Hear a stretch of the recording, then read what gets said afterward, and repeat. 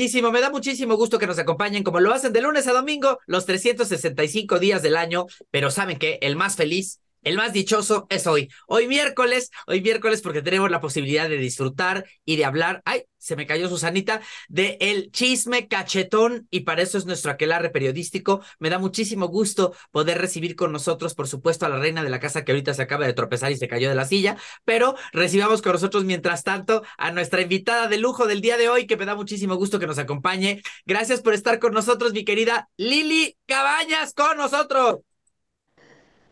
¡Ea, ea! ¿Cómo estás? Gracias, amigo querido Luis. Oigan, ¿hasta dónde se nos habrá caído Susana?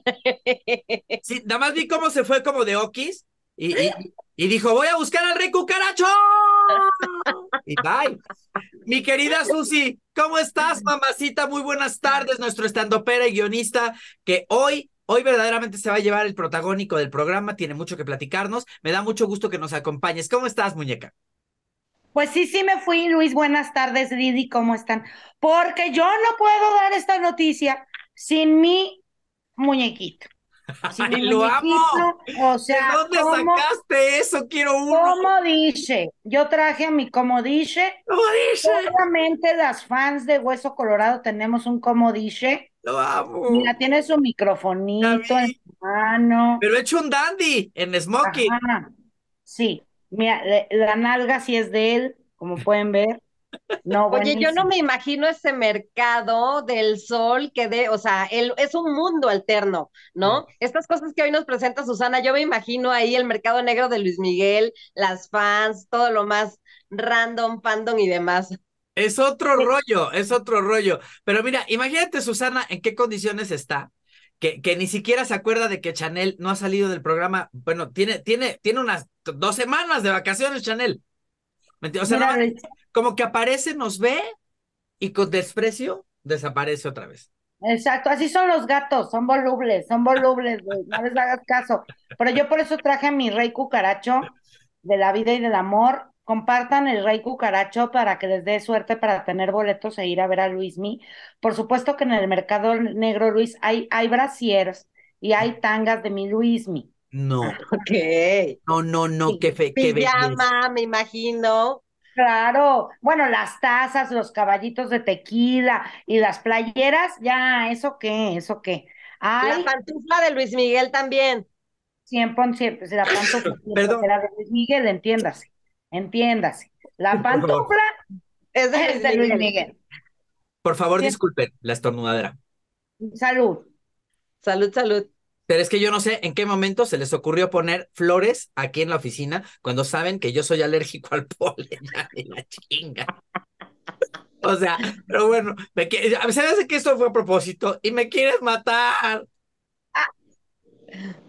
Oigan, bueno, pues vamos a comenzar, por supuesto, con la, con la noticia, la noticia de la semana. O sea, yo, yo no sé qué está pasando, pero aquí ya vamos a tener que poner una sección que, que se llame este, eh, Luis Migueleando o este, o Susana Heredia presenta, o este, o, o, o su, o, o, su, o, Miguelina, una cosa así, porque no hay semana que no tengamos algo que decir. Miren, en esta semana tenemos tres importantes notas que hablar de Luis Miguel. Vamos a irlas desmenuzando una por una para que no se nos acabe el programa hablando solo de eso.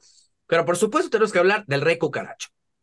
Tenemos que hablar del comunicado que mandó Luis Miguel con esta, bueno, no era un comunicado, más bien es un mensaje subliminal eh, con, esta imagen de, este, de, de, Frank Sinatra y tenemos que hablar de los boletos. Así que, Susi, es todo tuyo el micro. Tú dinos por dónde nos arrancamos. Claro que sí, Luis. Este, no, yo también hablaría de, bueno, también bien padre que el 10 de mayo eh, puso la foto de Marcela Basteri, de su mamá. A mí eso por primera vez Luis Miguel compartió en redes sociales. Noel, obviamente su community manager, tuvo una foto autorizada por Luis Miguel para ponerla. Qué bonito, qué Y me gustó mucho porque se me hace un gran detalle. O sea, él no solía hacer estas cosas. A mí ya me lo cambiaron. El como dice, ahora ya es como dice en Twitter, como dice en Instagram, como dice en Facebook. Sí, así no, no, nos traen friega porque tenemos que estar viendo dónde, dónde está poniendo cosas. Luego, efectivamente, sí, pues esta carta que le dio Frank Sinatra, que ya se había dado a conocer, pero eh, como mucha gente no lo sabe, pues es un estupendo momento para volverla a hacer de emoción y Frank Sinatra y, ¿no? Y ponerla. Qué padre, Luis, mi my love. Yo siempre te aplaudo todas tus publicaciones. Luego, eh, la venta de boletos, amigos. Ay, no. No, eso no es de Dios, ¿eh? Yo veo, o sea, de verdad que tengo, tengo más de una semana leyendo a, a mi pobre Susana Susana contra el mundo, Susana contra la tiquera, Susana contra los revendedores, Susana contra estos que están organizando todo este bloqueo de boletos, de ciertos boletos. Sí, mi Didi, sí, así es, Jordi. Yo soy la que está tratando de romper el sistema desde adentro. Todavía no lo logro, pero esa es mi intención. Y bueno, desde el domingo las fans teníamos un código secreto solo para fans eh, para tener acceso a la preventa exclusiva de Luis Miguel para sus fans.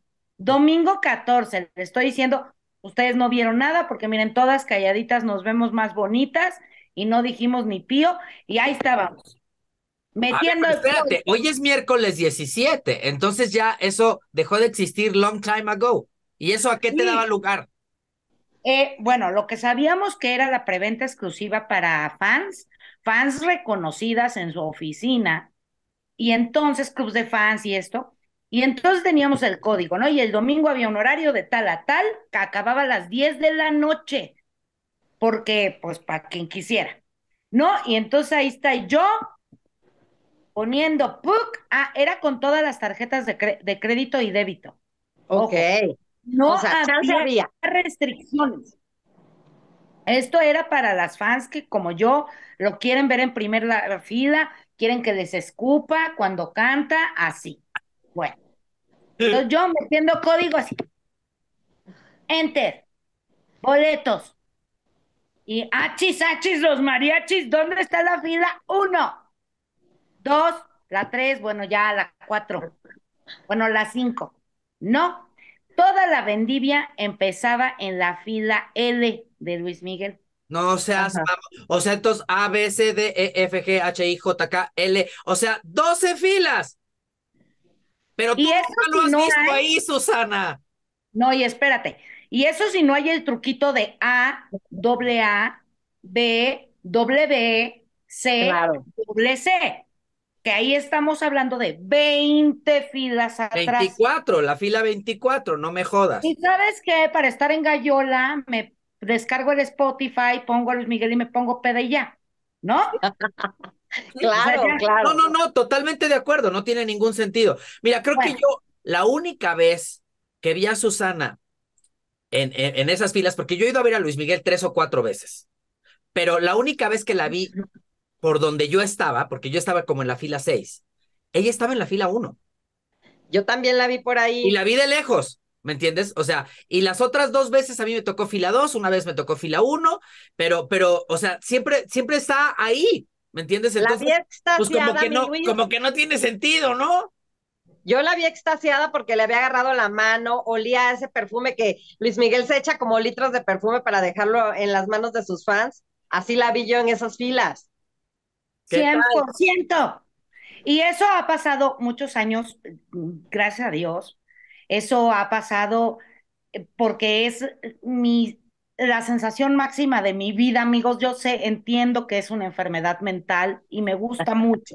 Todos tenemos una.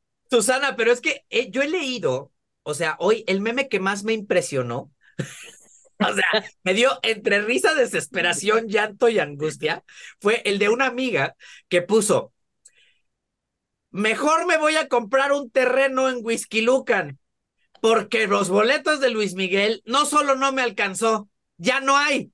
Y los que hay están escondidos.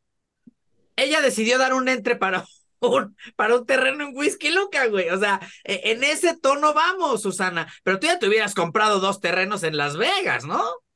Yo ya tendría mi casa en Acapulco, o sea, con mi lanchita, ponle no yate pero ya tendría mi lanchita pesquera, ¿no? ¿No? Ya tendría ahí a mi brody trabajando, yendo por la almeja chocolata. No lo tengo. Pero ¿qué tengo? Un cerro, un, cajas llenas de boletos, Luis. Y yo te puedo enseñar, no es mamada. Primera fila, A, doble A, ta, ta, ta, ta, tu, tu. Sí, a veces he estado en la sexta, claro, pero yo claro que nunca me he quedado en la sexta. Yo no me senté en ese lugar, Luis. Oye, Yo Susana, para adelante.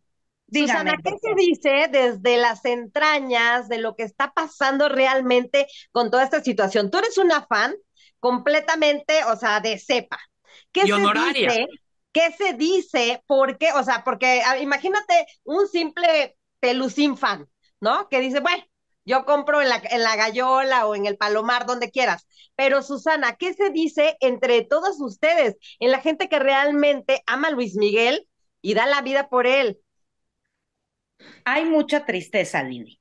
Hay mucha frustración. Yo he leído muchísimas mujeres con este mismo sentimiento que yo tengo, que es, no puede ser, no me puedes dejar así. O sea, la frase es, no me puedes dejar así. Estamos buscando quién los venda por debajo de la mesa, como sea, eh, pero hay muchísimo sentimiento y, fans que de verdad también me consta, me consta los esfuerzos enormes que han hecho para, mira, así, pagar estos boletos.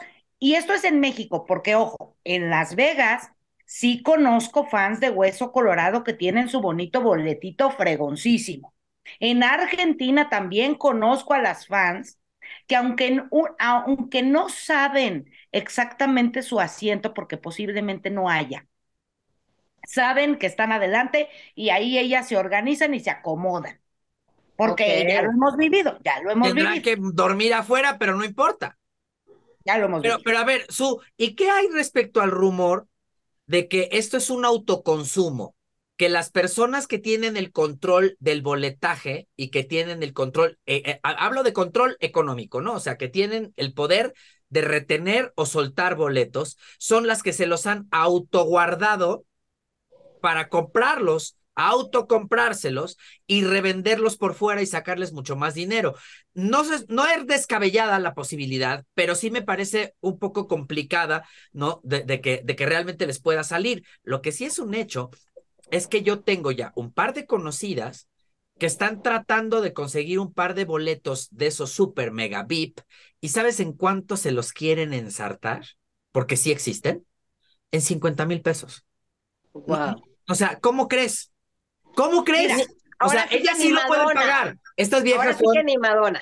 estas viejas No, sí no, a ver, a ver, Luis, no, es que una fan de Hueso Colorado no tiene por qué pagar eso. Claro que no. Voy a explicar lo siguiente, voy a explicar lo otro, lo que yo quiero pensar, porque a mí ahorita especular sobre quién es, dónde está la mafia y si el empresario revende, o- todo esto que yo todavía no tengo la prueba, la única prueba que siempre he tenido es que Luis Miguel regala los boletos de las primeras filas a sus fans.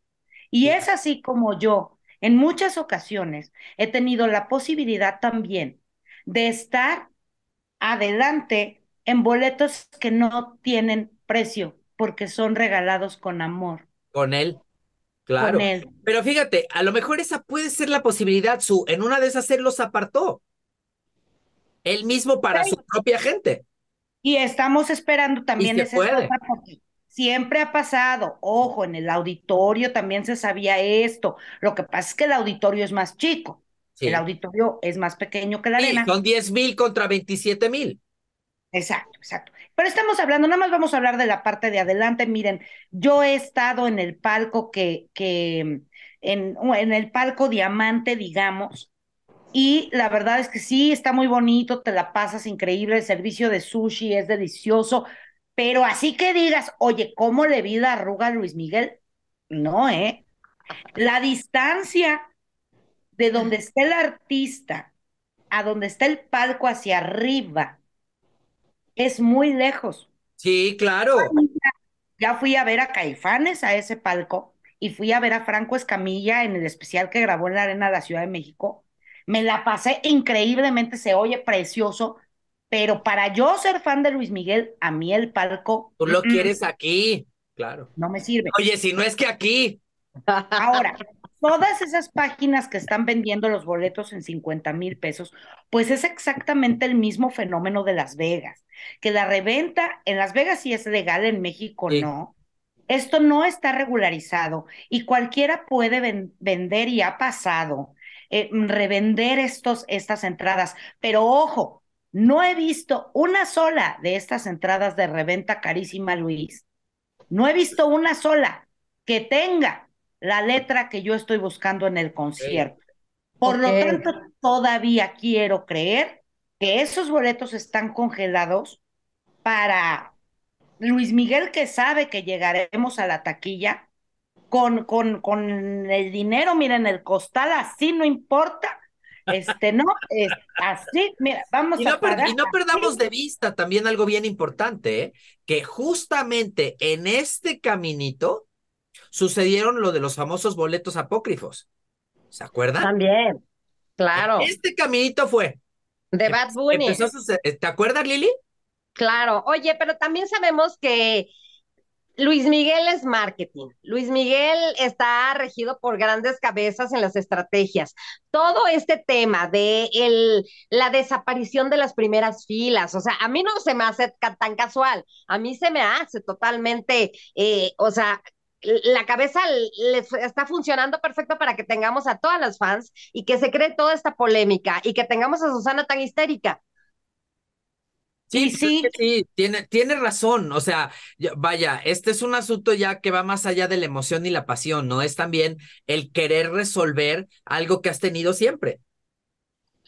100%, Luis, para mí sí es importante. Yo, lo entiendo.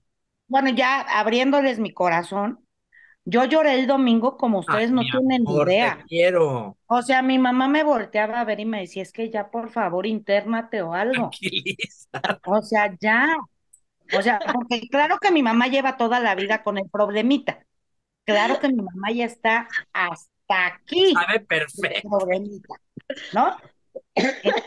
mi mamá me dice, bueno, ahora en otra posibilidad, haz de cuenta que entonces ponle que tú que sí, que cinco días antes del concierto en la Arena Ciudad de México salen esos boletos a la venta legales por este, esta boletera que tiene la arena y salen legales y cuestan 50 mil pesos, Luis, yo te voy a decir una cosa, yo no voy a ir.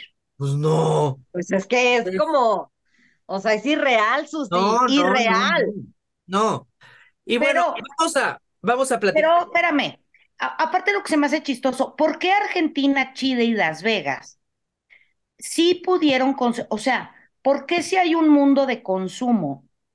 Así es. Porque me consta que existe, ¿por qué sí y aquí en México venir a hacer esto cuando el sol es de México? Claro. Es que me parece una cosa mala.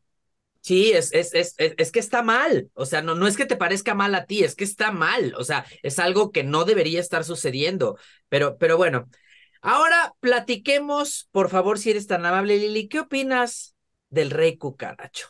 Lo amé, perdóname, Susana. Pero fui de las primeras en ver esa publicación de Jorge Lozano y realmente sí creo que hay estrategia ahí, o sea, también la invitación a Araceli Arámbula esa noche, hubo muchas, muchas famosas que fueron. Mira, me consta, vi muchas amigas que ya tenían su boleto apartado, pero yo sí creo que fue estrategia, pues hablar de un rey cucaracho y sobre todo esta mujer que superó al rey cucaracho. Y que puede tener a cualquier muchacho.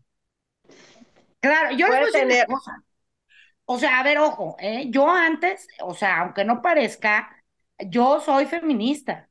Qué bueno. O sea, ojo, yo donde he tenido que emitir una crítica o un comentario señalando alguna cosa, sea de Luis Miguel o de cualquier artista, pero además creo en la libertad de Araceli de decir lo que ella quiera. Y si ella superó al, al rey cucaracho, pues qué maravilla, ojalá mijas concéntrense y dejen de estar llorándole al panzón o sea, para mí el mensaje es ese, ¿eh?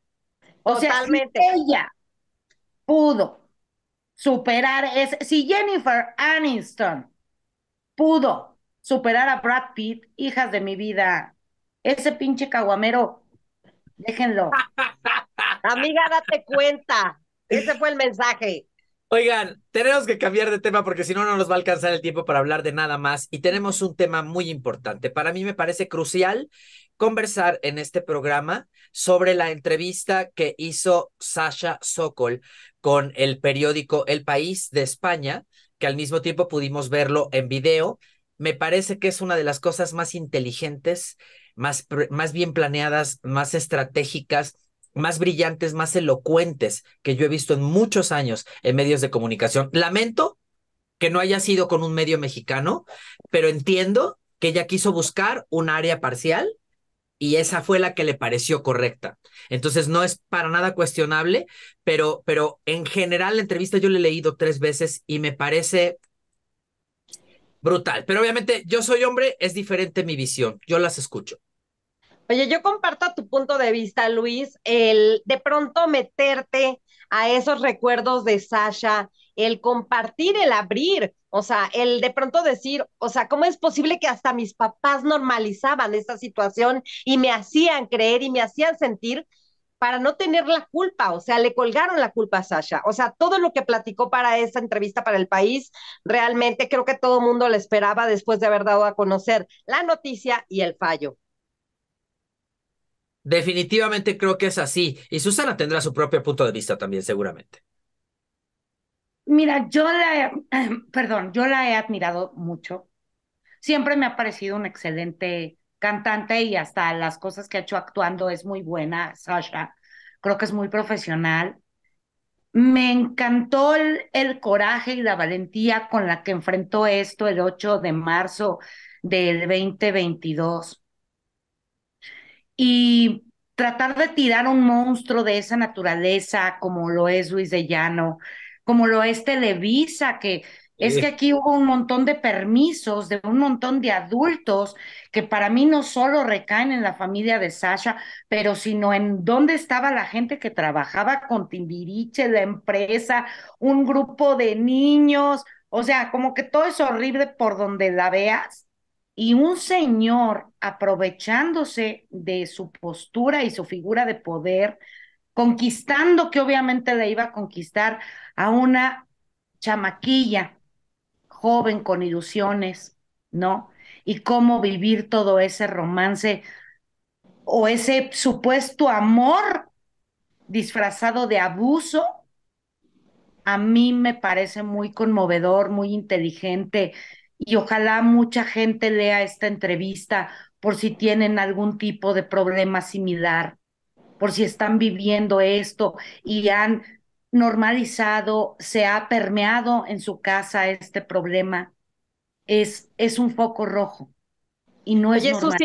que aparte fue una, o sea, Luis de Llano eh, fue una de las primeras historias de abuso hacia, hacia muchas porque bueno, rumores hay muchos de muchos productores que igual crecieron con, hicieron crecer a muchos personajes y a muchos artistas también en abuso, ¿no?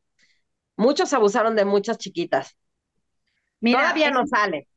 Es muy comentado porque es el radio pasillo o gente, los periodistas como nosotros tenemos. Así es un poco a esas historias y sin el ánimo de dañar a la persona. Pero Pedro Damián podría ser también otra red flag, otro, otra relación abusiva y ojalá la actriz que vivió esto un día reúna todo lo que ella necesita si quiere compartirlo con el mundo, ¿no? Porque es su historia. Pero esto de Luis de Llano y después con lo que pasa en medio con Sergio Andrade y Gloria, o sea, gente tan joven con sueños de cantar, la figura de poder, yo te hago famosa, yo te puedo construir una vida en un sueño que se está realizando y a través de esto te sedujo, o sea, te seduce toda la idea, ¿eh? no solo el hombre toda la idea es una seducción peligrosísima.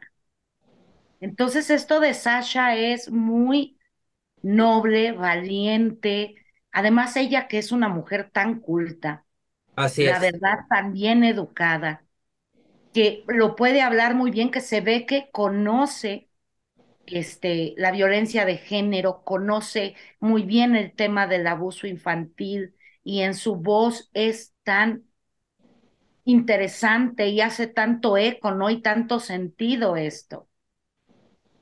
Oye, Susi, a mí me tocó ver apenas a Sasha eh, hace dos semanas en Televisa, cuando fueron a apoyar justo a Diego.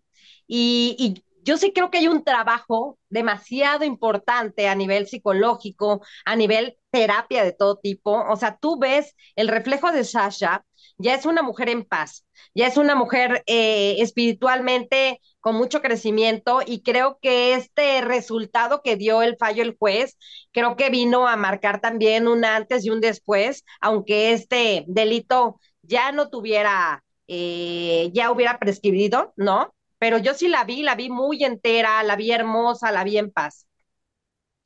Y aparte, yo creo que... Perdón. No, no, no, tú sí, vas, vas, vas.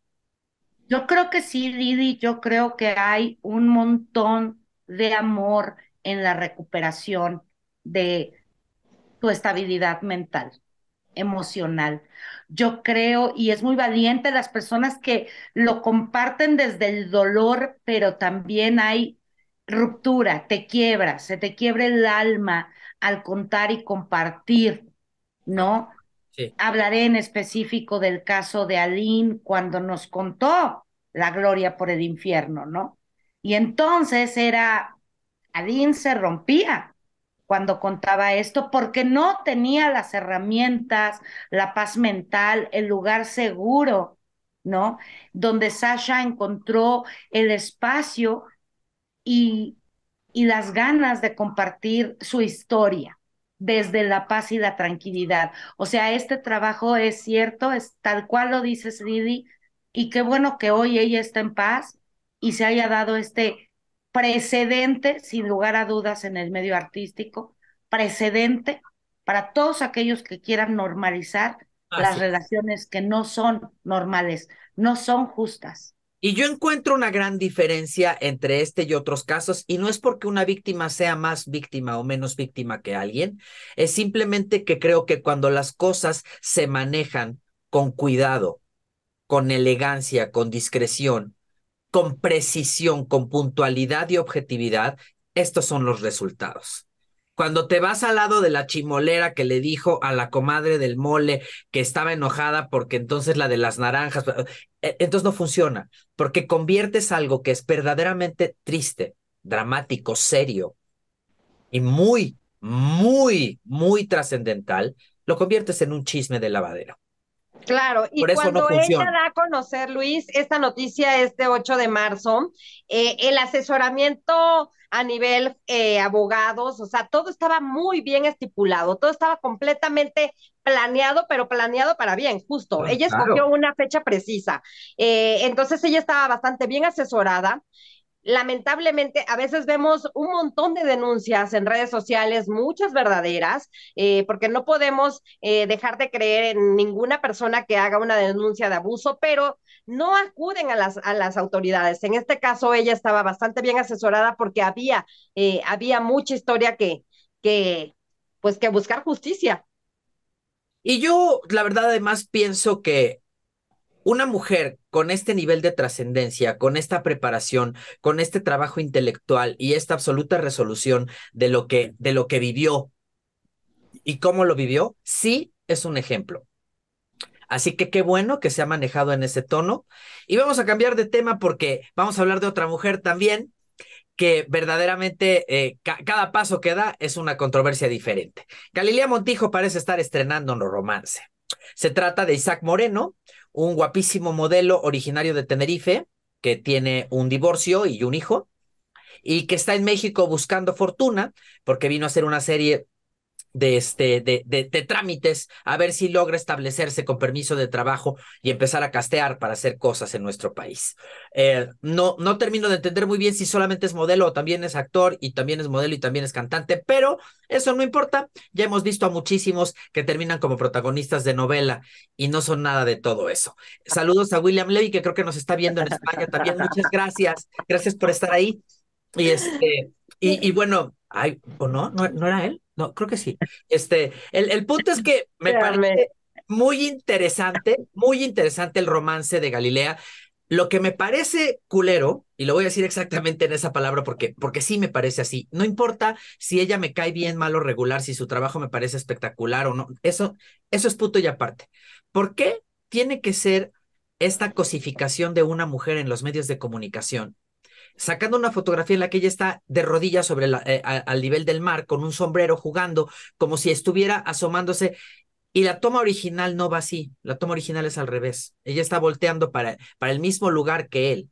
No están encontrados. Y la fotografía original ya apareció. Entonces, ¿cómo? Si una mujer se arrodilla ante un hombre y juegan sexualmente, está gachísimo, pero si lo hace un hombre, como ya vimos a Gabriel Soto cargando a alguien que le costó el matrimonio y, y no sé, o sea, entonces es un cemental. Eso Claro.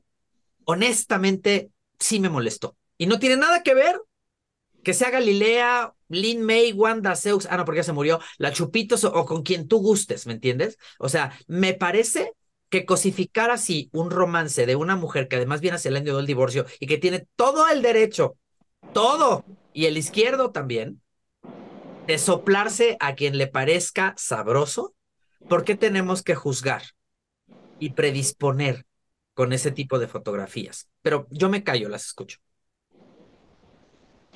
Justo como lo dijiste, querido Luis, o sea, eh, a mí me tocó ver la foto de Galilea y el juego que estaba pasando ahí y me pareció a mí, Lili, que no tiene problemas, no tiene tapujos, no tiene tabú. Me pareció una cosa bastante normal, pero justo estamos en la época de las redes y justo estamos en esta época del hate y de juzgar y de ponerle títulos, etiquetas a todas las mujeres, como siempre ha sucedido, pero ahora más por las redes. Entonces, creo que es eso, nada más. Sí, porque yo no creo que estemos juzgando nosotros, o sea, yo no veo aquí que haya algo que juzgar. de- Claro.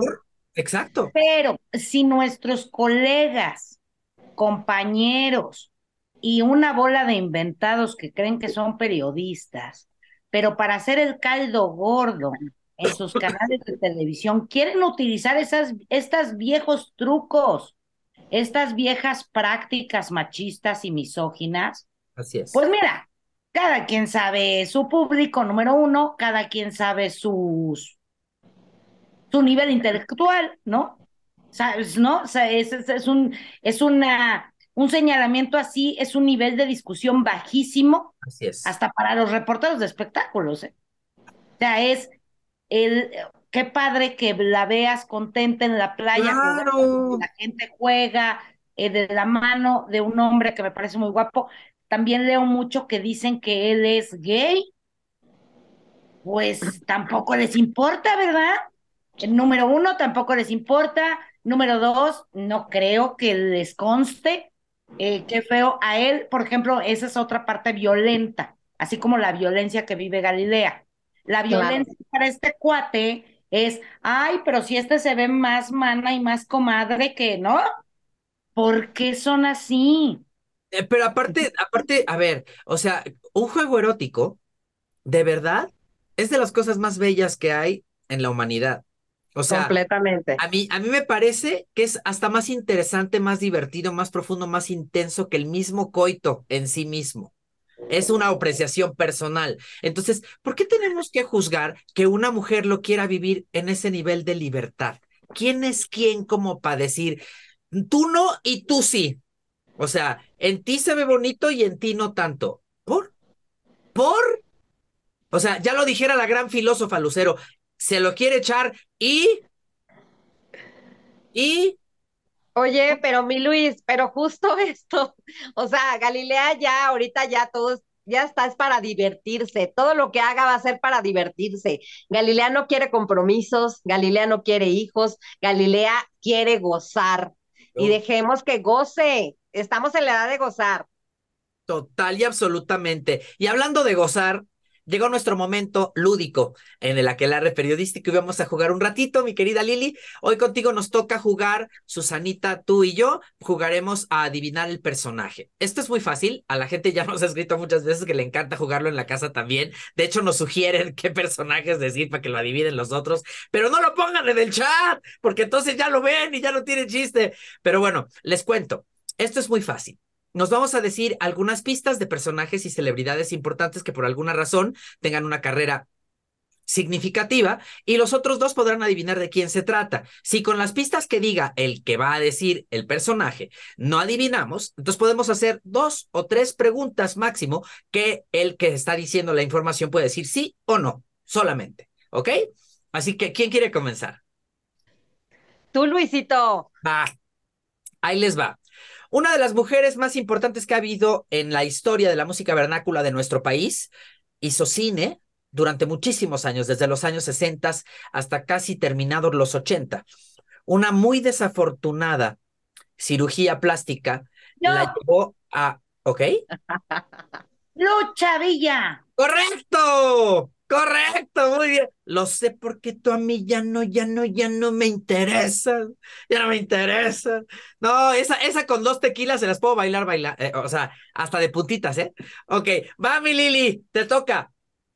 Oigan, un atrevido que no solo vio su carrera como un, un gran escenario, él buscó crecer más allá. Eh, excelente bailarín, con gran cuerpo. Eso también lo llevó al cine, al cine y que nadie tenía expectativas de él que lograra algo más. Eh, ahorita digamos que se ha consolidado como uno de los conductores que digamos que algunos programas unitarios llaman. Lo tengo. podría ser? Lo tengo, lo tengo. Espero no cagarla. Latin Lover. Eso.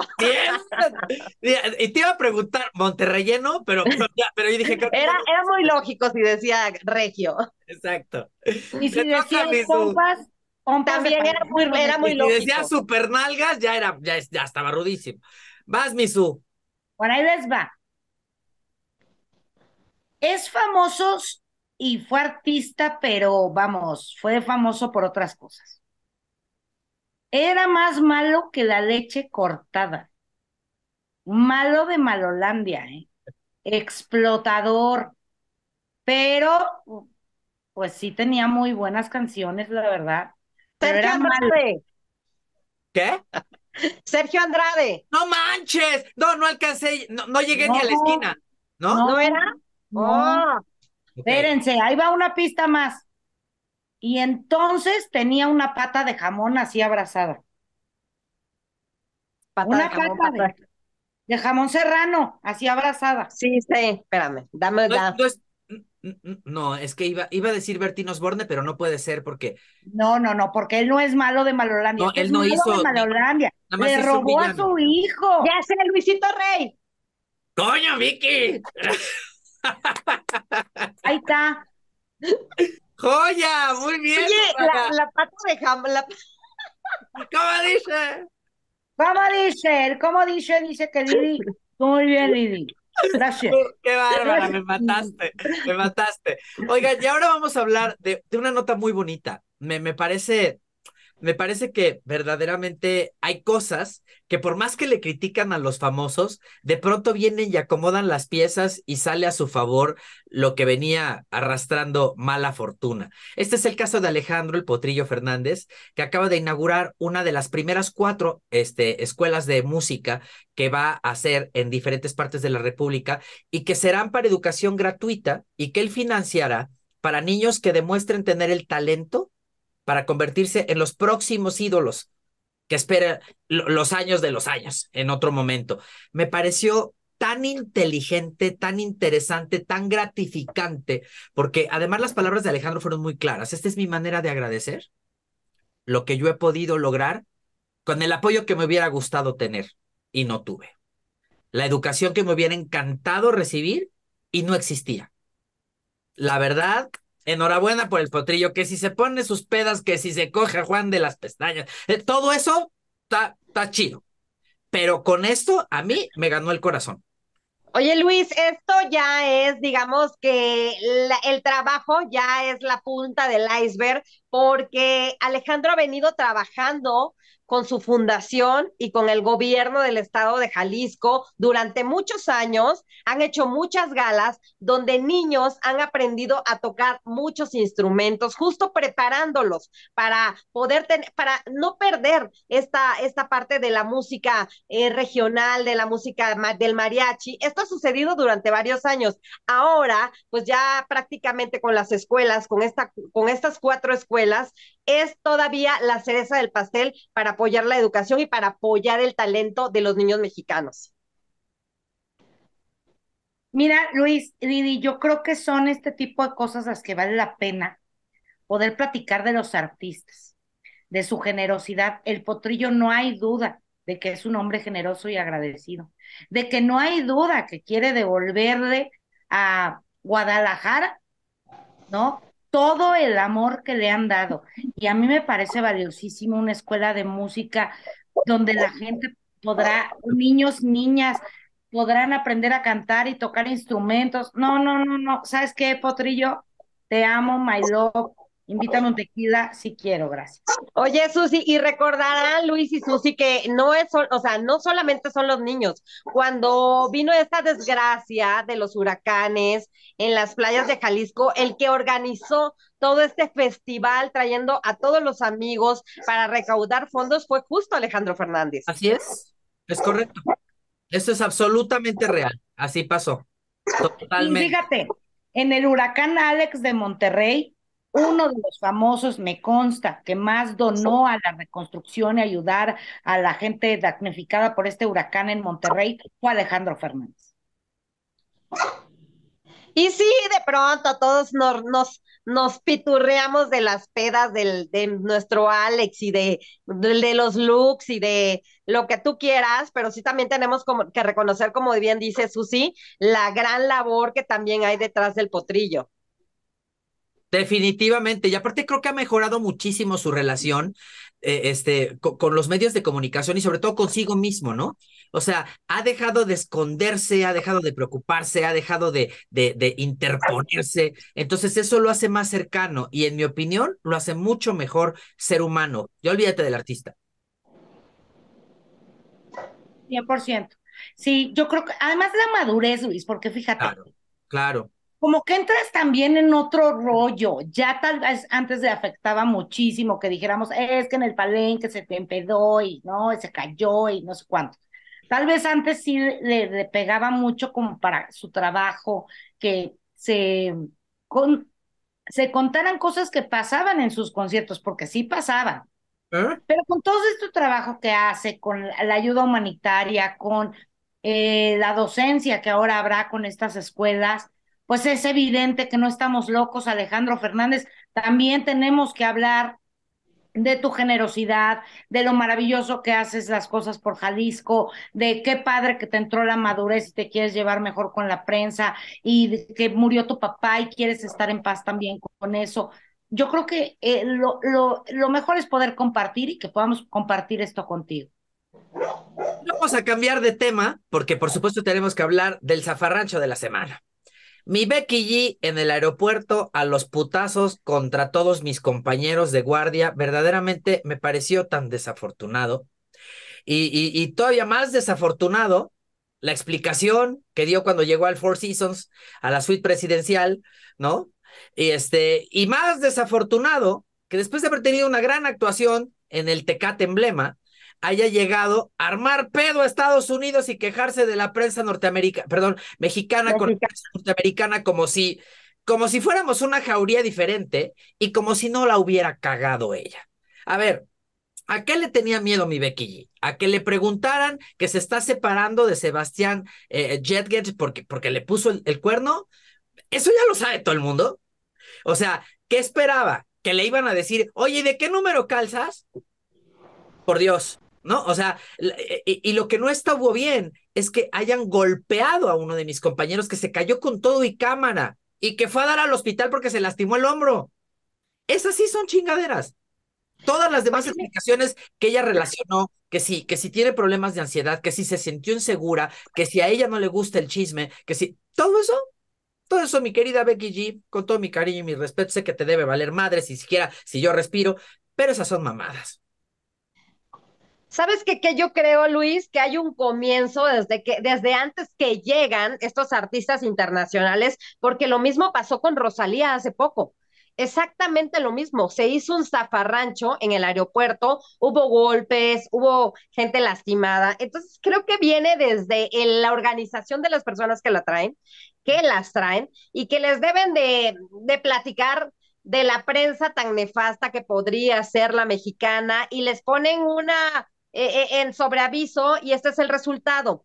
Yo creo que es más de los organizadores que a veces de los mismos artistas, pero lo lamentable es que no crees empatía con toda esta gente que ya quedó lastimada y dañada en el aeropuerto y todavía llegues a hacer declaraciones de este estilo. Eso es lo lamentable. Nuestra compañera Berenice trae un pinche chichón aquí desde hace como cinco días que no se le quita porque le dieron un camarazo cuando uno de los guaruras empujó a uno de mis compañeros, que obviamente no tiene ojos en la espalda, y no la vio. O sea, ¿qué pinche Que de ese nos llevamos nosotros muchos en las coberturas. ¿Qué pinche necesidad? Pero que son innecesarios, son innecesarios. Ahora, yo veo a todos nuestros compañeros ahí día y noche. Muchos criticamos esta, esta prensa eh, y mucha hora eh, que hay mucha digital, porque bueno, pues ahora ya así pasa, ¿no? Pero no sabemos las horas que ellos tienen que pagar, pasar, si comen, no comen, si van al baño, si dónde están en la interperie. Es lamentable que no creemos empatía con todos ellos. Y bueno, pues este, esto no creo que le cobre un precio a, a Becky, ¿eh? Tampoco es para tanto. Pero pues lo lamentable es que Becky, que grita que es una mexicana orgullosa, pues no le dé tantito amor a la prensa mexicana. Pobre muchacha, pobre muchacha. Pero yo creo que lo que está mal es todo. Yo creo que la cobertura en el aeropuerto, y yo lo he dicho muchas veces, yo estuve cuando llegó Cristina Aguilera por primera vez en México, e Inés Moreno pudo haber muerto porque se le enredó el cable del micrófono en el cuello. Y al jalarse los camarógrafos cuando llevábamos micrófono de la, la pudo haber, ¿no?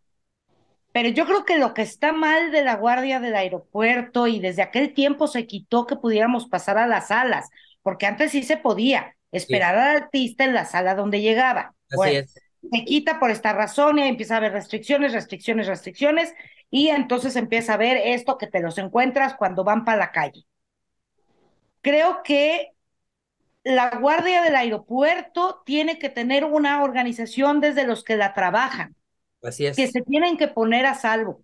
Mira, ordenados, aquí estamos de frente, me regalas, no sé, estoy inventando, ¿eh? Porque hace mucho tiempo que yo no hago esto, pero me parece lógico.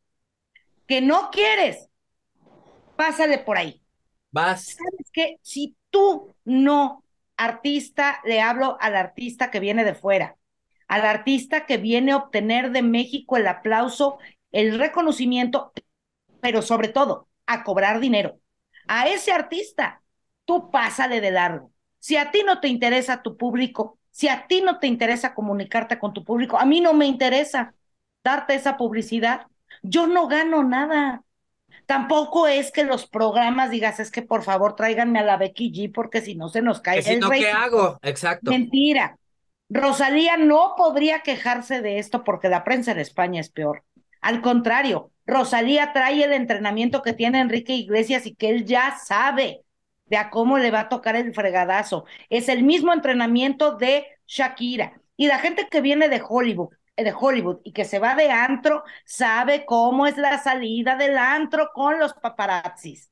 Entonces, estamos hablando de gente entrenada que sabe cómo es esto, que nos choca a ambas partes que se generen, seguro. Yo de verdad mm, los vi y dije, Dios mío, no quisiera volver a estar en ese lugar. Completamente. En ese lugar donde si una mala caída te rompes un algo, como este compañero camarógrafo, Berenice, ese chichón se lo tiene que ir a revisar. No es normal que tenga inflamado un golpe después de cinco días. Y entonces empezar a tomar las decisiones desde la calle. Desde el micrófono y desde el pie. Pero fíjate, por ejemplo. nota, Perdón. Chicos, no hay nota que valga tu vida. O sea, realmente, bien lo acabas de decir, Susi. Yo creo que las guardias en el aeropuerto, de hecho, no deberían de existir. No, no logras nada finalmente logras eso, el zafarrancho. Porque si bien a la hora que captas a la gente que se va de viaje, a los nacionales, ¿no? Y ahí vas correteando la entrevista y las respuestas, ¿por qué tendría que ser así? Y por ejemplo, también aquí hay algo bien importante, ¿no? O sea, lo que decía Susana y lo que decías también tú de alguna manera, Lili, me parece que es importante cerrar filas. ¿Saben qué le acaban de hacer a Isabel Pantoja en el aeropuerto de Barajas, en Madrid? le bajaron los micrófonos y las cámaras cuando la vieron llegar. A eso fueron, a bajarle las cámaras y los micrófonos para que entendiera que nunca más podía agredir ni ella ni su gente a ninguno del gremio. La mujer se quedó tan sorprendida que se paró a ofrecerles una disculpa porque estaba entendiendo perfecto cuál era la situación, cuál había sido el error y cuál era la consecuencia. Así se hacen las cosas. Mi Luis, yo no he visto, aunque, aunque se ha planteado este tipo de iniciativas con algunos eh, eh, famosillos, ¿no? No he visto que tengamos esa sangre determinante para decir no hay que entrevistar. Porque muchos pues dicen, yo tengo que llevar la nota a mi programa. La señorita, la, señorita impunidad, esta mujer cubana que madrea fotógrafos de nuestros Bueno, entonces, Lili, también hay una cosa muy triste que decir aquí. Entonces no te quejes, papacito. Pues sí. No te quejes. Sí. Porque si tienes que llevar la nota y si tienes a alguien que te obliga a costa de tu vida. ¿Que eso está culero? Y eso es lo único que te importa, pues entonces no te puedes quejar. Porque si aquí no va a empezar a haber una infraestructura, una estructura de cómo tratar esta clase de artistas groseros y empujaguaruras y todo lo que hemos vivido todos por años, si no va a haber esto, entonces papacito, si te caes, te levantas y te sobas, mi reina. Ay, te pegaron. Pues ni modo, mi amor, así es la chamba. Acuérdate que tienes que llevar la nota. Y nosotros lo hemos discutido mucho, querida. Eso es horrible. Se me hace horrible. Lo hemos discutido mucho porque, bueno, venimos de este gremio, o sea, somos de este gremio y fue un gremio aguerrido la, la generación que nos tocó, pero también sabemos que esto ya no debería seguir sucediendo, esto ya tendría que haber evolucionado. Y también me parece muy cómodo, y lo voy a decir con todo cariño y respeto porque tengo muchos amigos que están en esa posición, para los jefes de información que están sentados en su oficina mandando a que hagan guardias a lo pendejo al aeropuerto a mis compañeros sin ponerse a hacer su trabajo real, que sería contactar información, producirla, decirle, mira, tienes su entrevista con tal en tal lugar a tal hora, porque yo ya hablé con el manager. Vete para acá porque va a pasar esto, tráeme el otro, quita esto, acomódelo.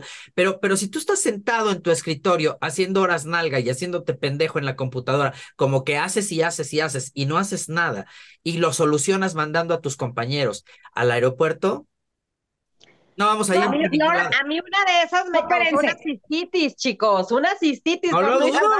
Esperando a Pablo Montero porque no te puedes mover porque si sale Pablo Montero. Porque si sale se fue.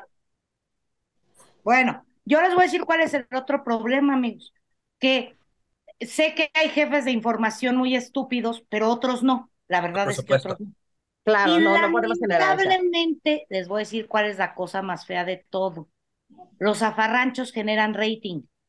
A la gente le gusta ver y le gusta ver la estampida de maestros que ahorita estuvieron afuera de Palacio Nacional gritando y pidiendo, y les gusta ver a las mujeres marchando el 8 de marzo porque entonces todas vamos, y les gusta ver pleitos. Entonces no, por eso yo hablo de la estructura. Eso da rating, eso no tiene duda. A la gente le va a gustar, el morbo lo va a atraer. Nada más que vamos a hacerlo que a nosotros nos convenga, ¿sabes? O sea, córrele y desde aquí, córrele.